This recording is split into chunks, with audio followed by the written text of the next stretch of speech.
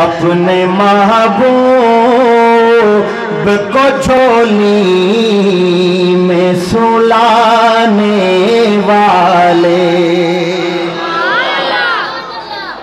मौलाना अख्तर नवाज़ साहब, मैं कलाम पढ़ रहा हूँ, आपने भी पहले उम्मीद है नहीं समाप्त की होगा। कारी बशीर अहमद साहब, आपने भी नहीं सुना होगा। भाई उमर फारूक अवान साहब, खूबसूरत कलाम है और नया कलाम है समात फरमाइए। यार गार गार का मंजर सामने रखिए। सिद्दीक की गोद है।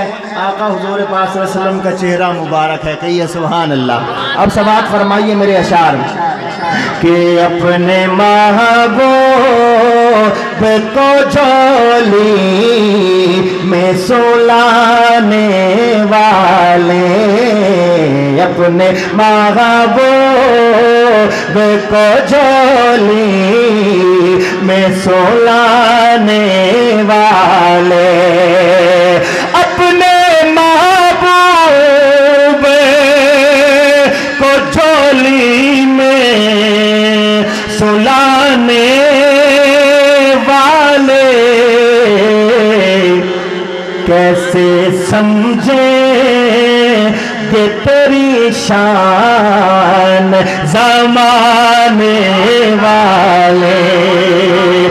कैसे समझे कि तेरी शान जमाने वाले कैसे समझे कि तेरी शान जमाने वाले? और हक तो ये है कि तुझे दिल में बसाया जाए। हक तो ये है हक तो ये है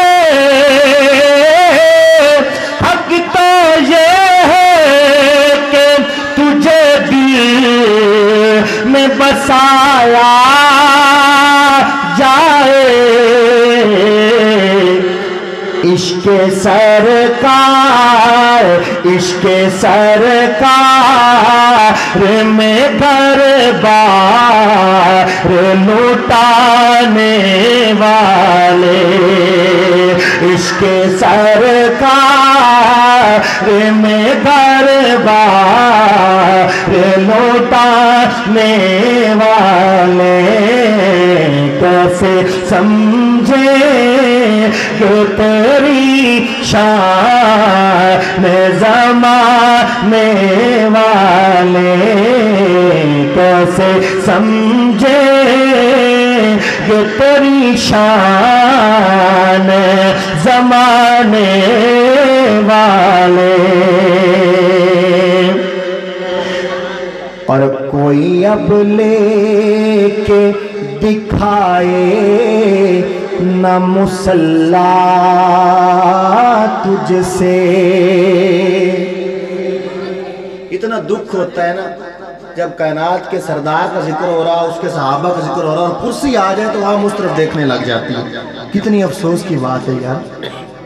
यार, मेरी तरफ़ देखिए मैं ज़िक्र किसका कर रहा हूँ, किसका तस्करा कर रहा हूँ? कुर्सी ज़िंदगी में कभी नहीं देखी।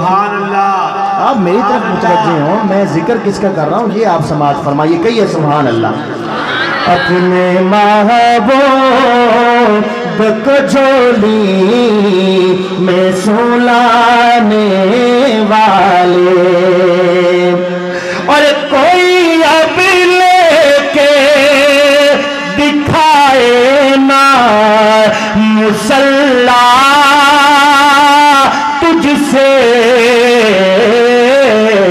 कारी बशीर साहब, कि तेरे पीछे तेरे पीछे तेरे पीछे है मोहम्मद के घराने वाले। तेरे पीछे है मोहम्मद के कराने वाले तेरे पीछे है मोहम्मद के कराने वाले